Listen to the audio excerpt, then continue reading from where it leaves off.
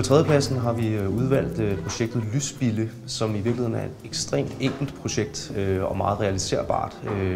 Det handler om at give folk en, en lille blinkende diode, som man kan putte på sine skøjter eller på sit tøj, og på den måde lyse op på, på skøjtebanen ude på Toftegårds Plads. Det vil sige, at alle publikum, eller alle medlemmer af publikum er med til at skabe den her lysinstallation, som skaber lys og liv i en ellers mørk tid.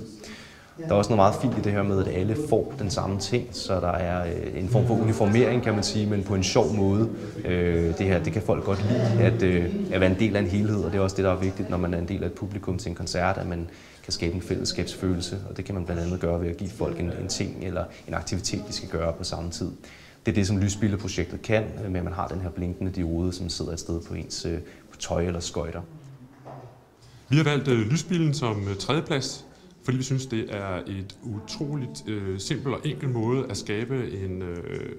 en både en oplevelse på, hvor man er inkluderet og er med i, øh, i det, der sker, øh, ved at man har de her lyselementer siddende på, på sin hat, eller på sin sko, eller sin skøjter, eller hvor man nu har dem siddende. Og så går man ind i mængden og er med til at, ligesom at, at tegne et dynamisk lysbillede, øh, mens man bærer de her øh, små lysdioder øh, der på sig, der blinker eller lyser.